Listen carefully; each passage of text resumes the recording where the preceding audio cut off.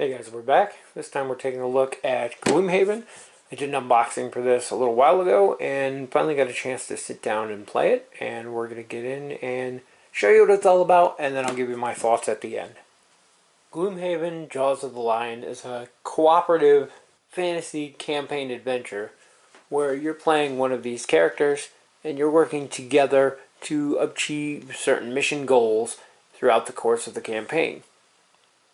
Along the way, your character will level up. You'll get new cards and abilities to use in combat, as well as collecting treasure and other items that you find along the way. Jaws of the Lion takes the Gloomhaven game and breaks it down into very simple, easy to understand, and teach rules. The campaign book is actually also doubles as the map, which makes setup super easy. You flip to the page you want, everything's ready to go. They changed the way that the monsters appear on the map into this nice flag where you have these bars, the top bar, middle bar, and bottom bar re referring to two-player, three-player, or four-player games. So you know how to set up your miniatures. Makes it super easy. There's markings on the map for the player spawns, again making it super easy. And also um, obstructions uh, barricades, things like that, all appear on the map. Do traps and things like that. Throughout the course of the game, you're going to play two cards from your hand, and you're going to take the top half of one, the bottom half of the other. You can go either way, however you want to do it.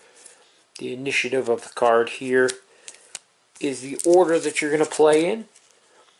The initiative thing's kind of weird because you're going to take two cards and you're going to place them face down in front of you. Then everybody's done that. You flip them over. I have a 17.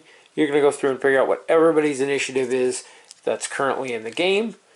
And then you're going to adjust these little tiny tokens. They're kind of fiddly and very small. But you're going to adjust them in order of who's going where. So in this case, our hatchet has a 17. We're probably going to be towards the top. And then you resolve a turn in order here.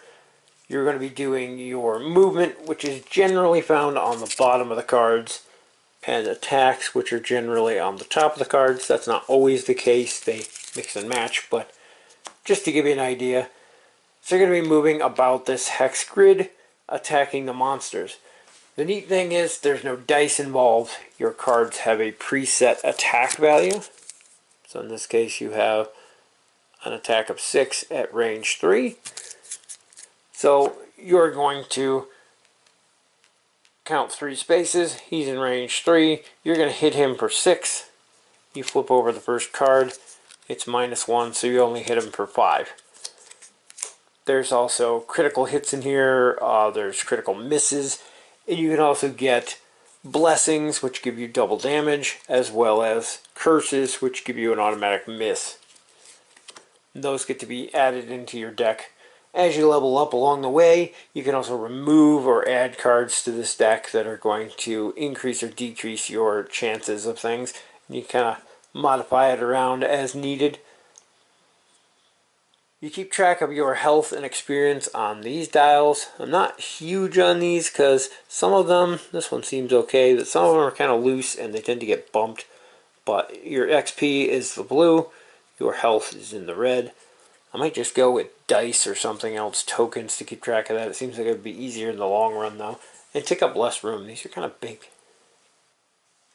They give you this nifty token tray to put all of your tokens in, although they just fit. Like these uh, debris markers here are filled right to the top.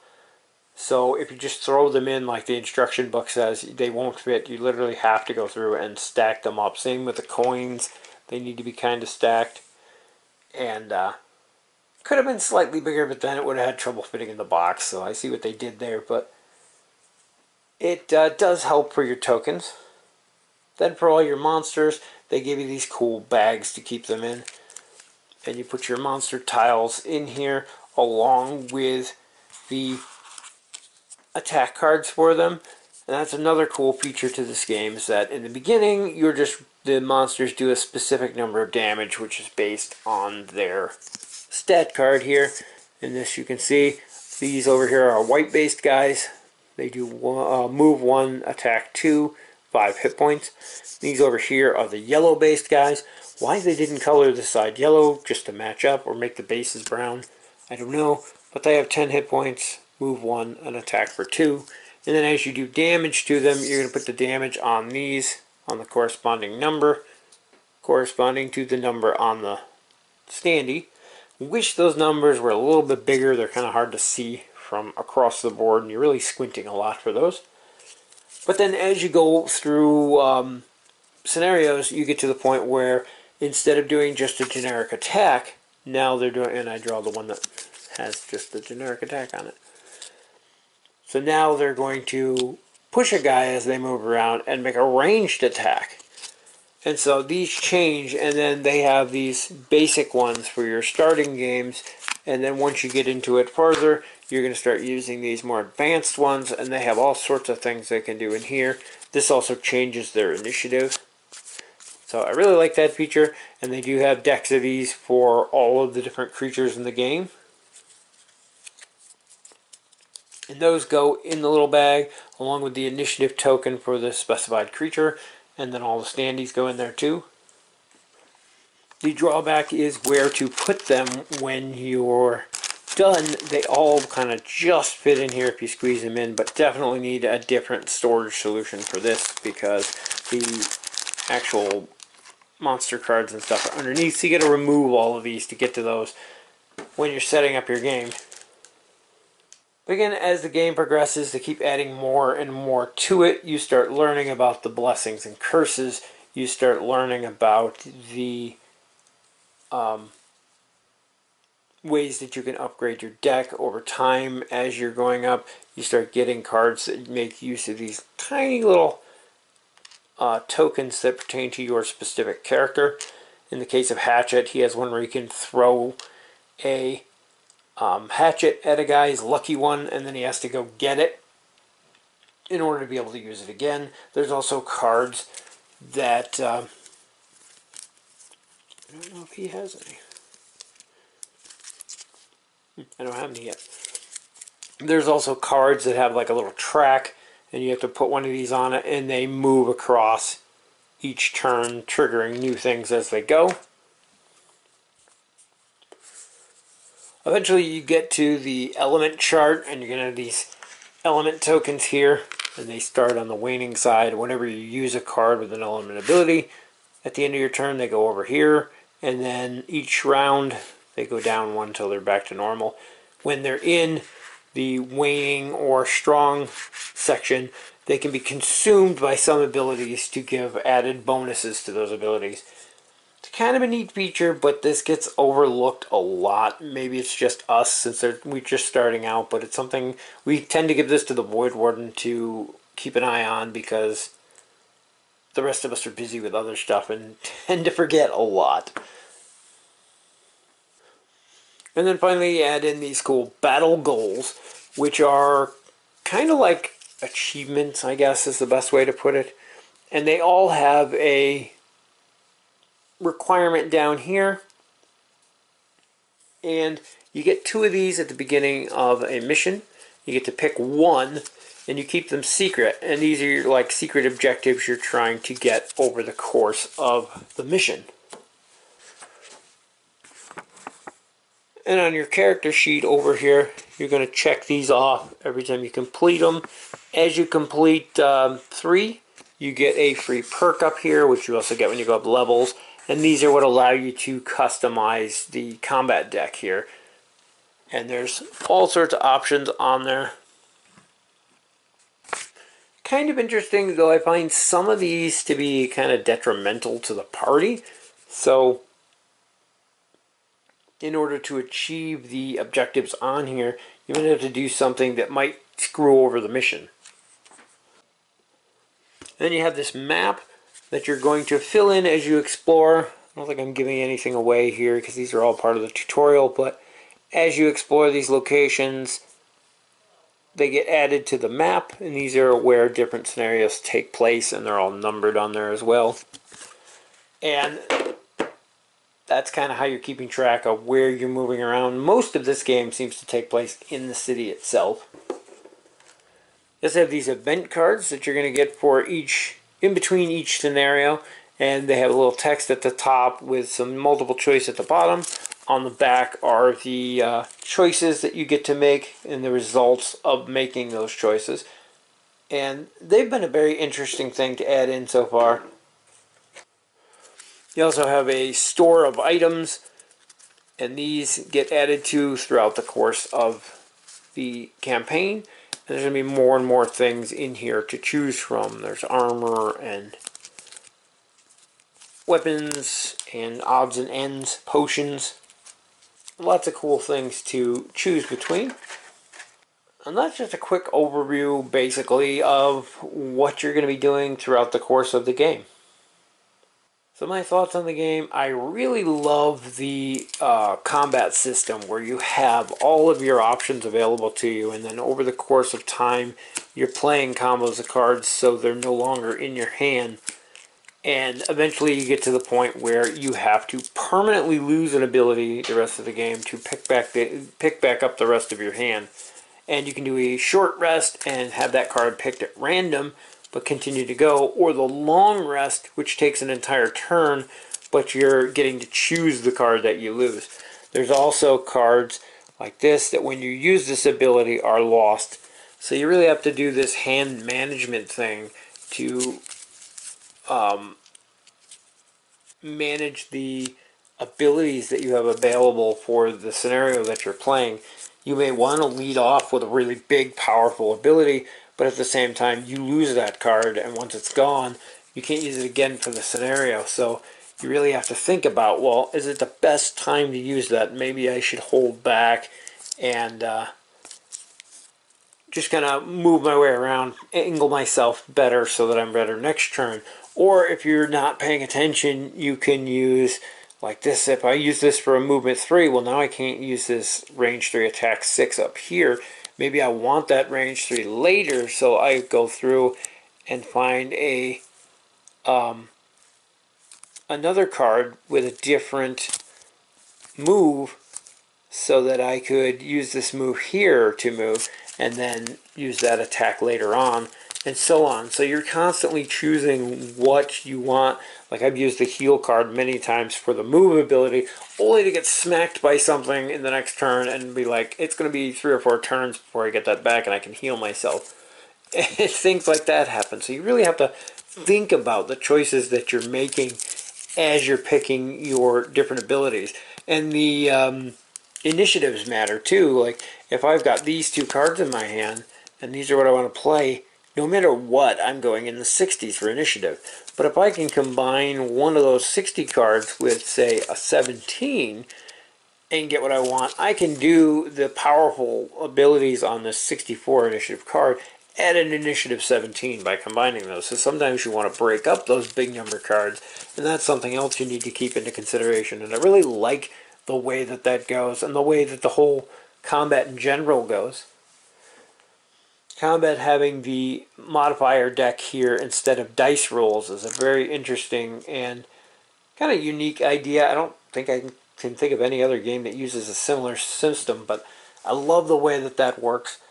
The uh, ability cards for the NPCs making their monsters basically do different things every turn makes them feel more alive, almost like there's a DM type person playing those characters because the way that they function changes from turn to turn. They can be doing ranged attack one turn, decide to drop their weapons and charge you the next turn, and that's kind of a cool change and uh, addition to the game.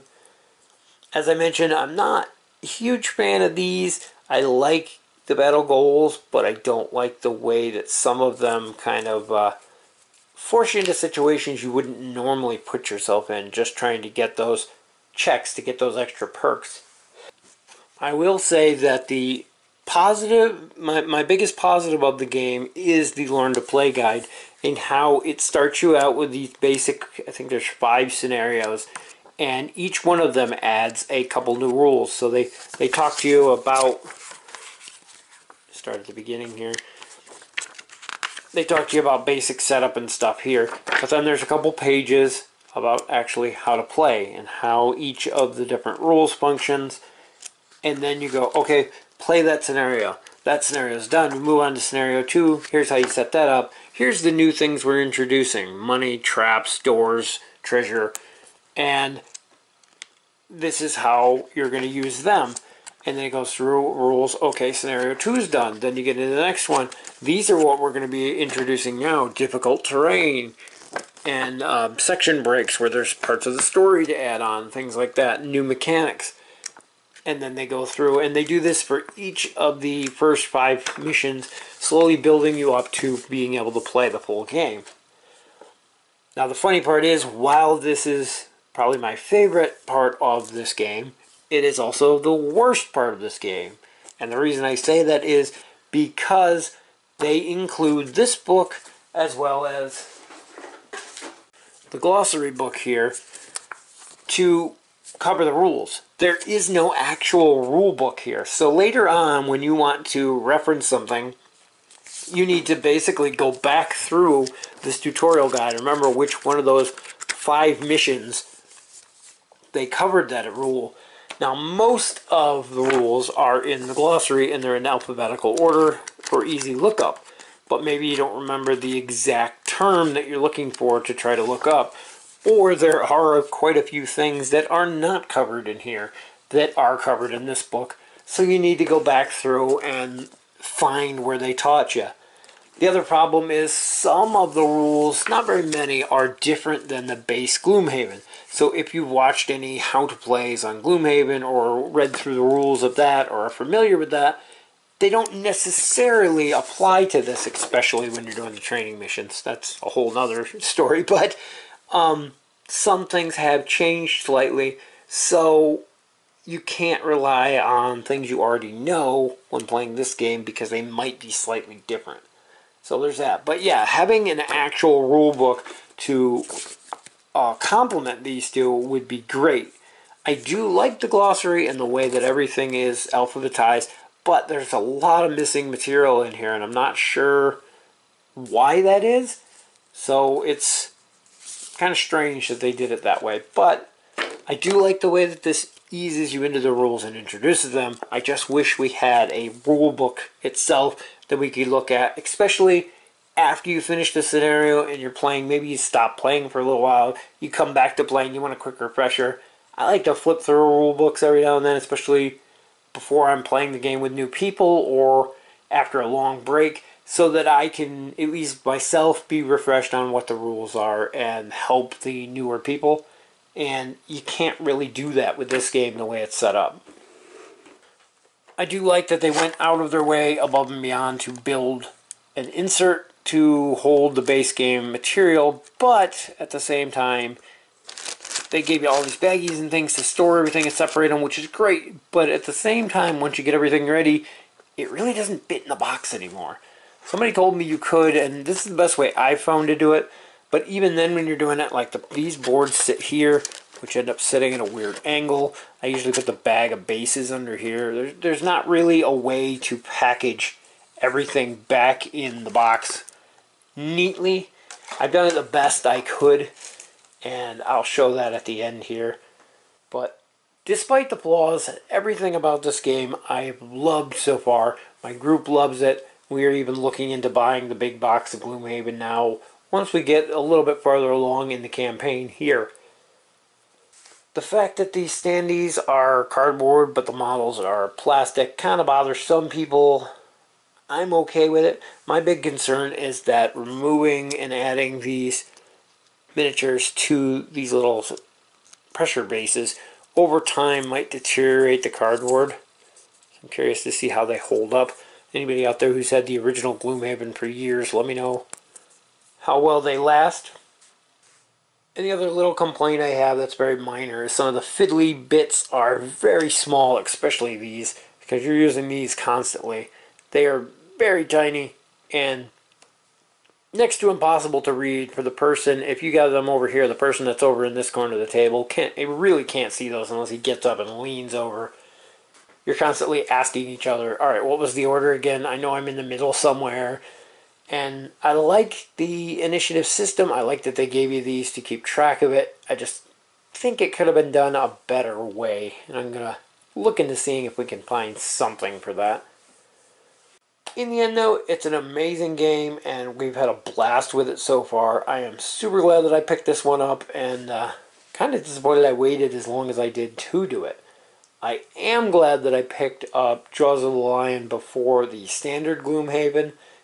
I think this is the way to go if you want to learn how to play Gloomhaven. Gloomhaven, the original, just kind of throws you in, and you have to learn everything from that 50 plus page rulebook, where this eases you in over a course of five scenarios, each one adding a couple new rules to get you into uh, the swing of things. My least favorite thing about the game has to be the element board and the whole um, moving the tokens around to keep track of it. It seems like just an extra busy work thing to do. And I've heard there's an app that'll keep track of this stuff for you, but I haven't actually tried it. But uh, that is probably the most or least uh, favorite thing about the game.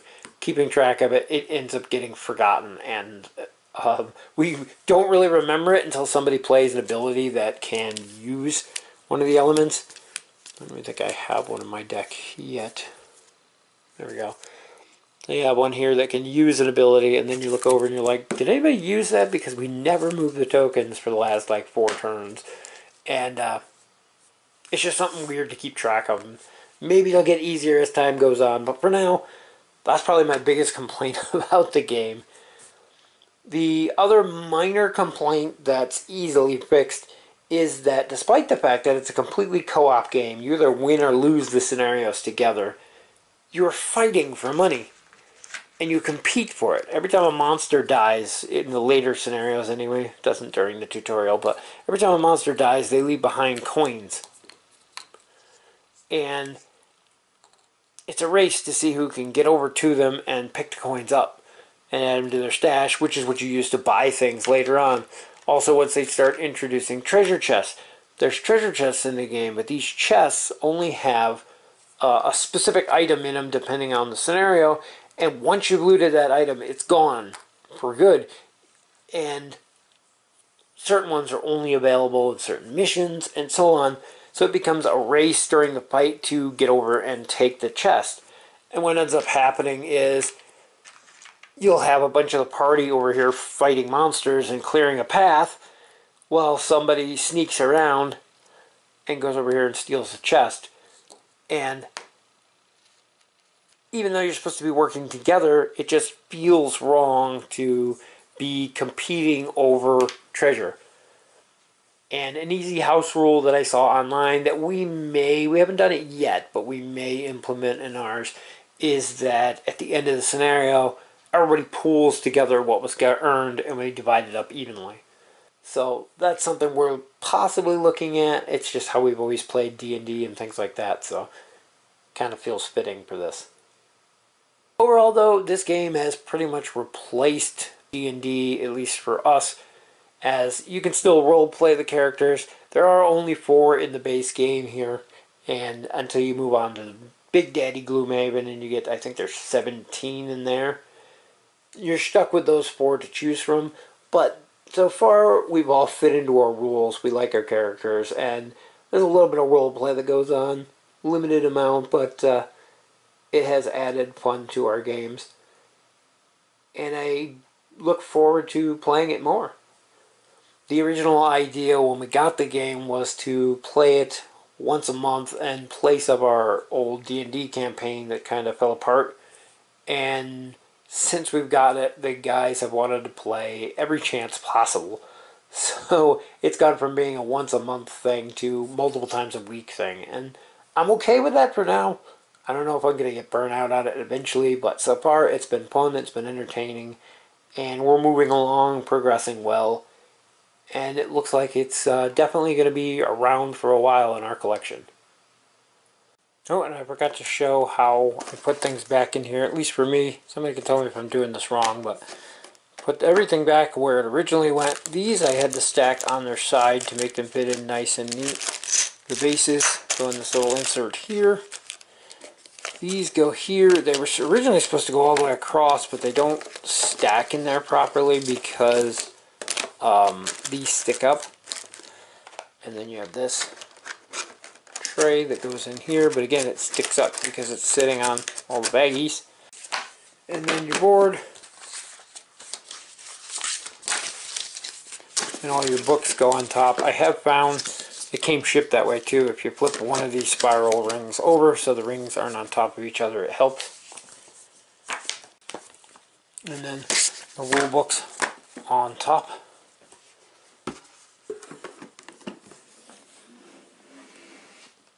And it does actually shut somewhat. It sticks up just a little bit in the one corner. Anyway, my thoughts on Gloomhaven, Jaws of the Lion, definitely a thumbs up and a keeper. I'm glad I added this to our collection, and as always, I uh, can't wait for our next game so we can play again. Anyway, I hope that helps you uh, decide if it's something you might be interested in or not. Feel free to leave comments down below. As always, thank you guys for watching, and we'll see you in the next video.